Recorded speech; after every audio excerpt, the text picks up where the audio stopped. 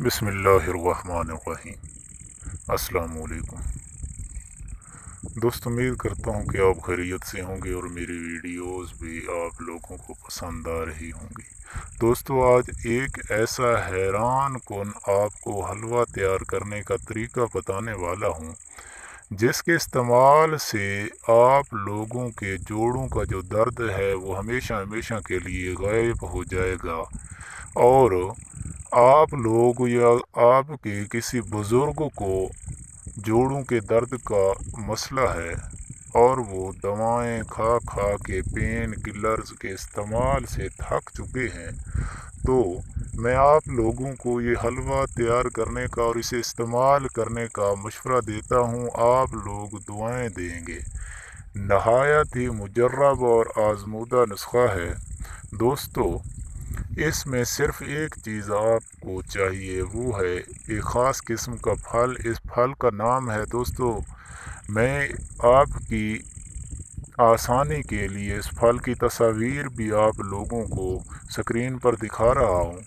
تو دوستو، اس پھل کا نام ہے بیل پتھر بھی سے کہتے ہیں، انگلش میں اسے بیل فروٹ کہتے ہیں، بیل گریبی سے کہتے ہیں۔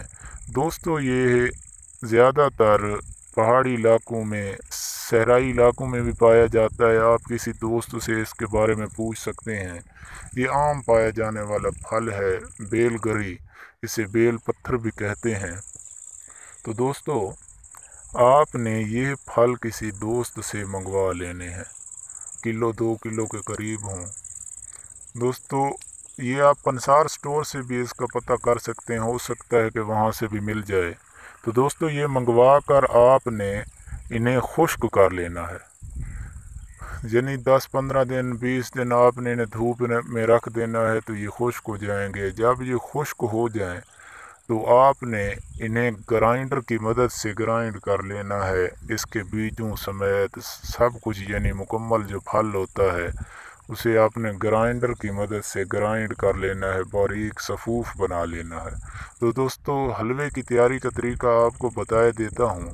حلوہ تیار کرنے کے لیے آپ نے سوجی اور گھی کا جو حلوہ جیسے ہم استعمال کرتے ہیں، بناتے ہیں گھر میں، سوجی گھی کا جو حلوہ ہے وہ آپ نے تیار کرتے وقت آپ نے اس میں پچاس گرام یہ صفوف ڈال لینا ہے۔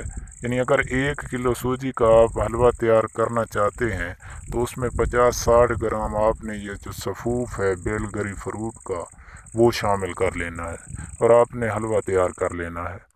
تو رات کو سونے سے پہلے متاثرہ شخص کو اگر آپ کا بزرگ ہے، والدہ صاحبہ ہیں، والد صاحب ہیں یا کوئی اور بزرگ ہے یا کسی دوست کو اس یعنی جوڑوں کے درد کا مسئلہ ہے، تو رات کو سونے سے پہلے ایک چمچ آپ نے اس حلوے کا روزانہ استعمال کرنا ہے۔ دوستو، دس پندرہ دن کے استعمال سے آپ خود بھی حیران ہو جائیں گے، آپ کو پین کلر سے نجات مل جائے گی، جوڑوں کے درد کی دواؤں سے نجات مل جائے گی اور مجھے آپ دعائیں دیں گے۔ نہایت ہی مجرب اور آزمودہ نسخہ ہے۔ دوستو، اس کا کوئی سائیڈ ایفیکٹ نہیں ہے۔ آپ بنائیں اور دوستوں کو بھی مشورہ دیں۔ دوستو، ویڈیو کو شیئر اور لائک کرنا مت بھولیے گا تاکہ کسی بھی دوست کا فائدہ ہو جائے۔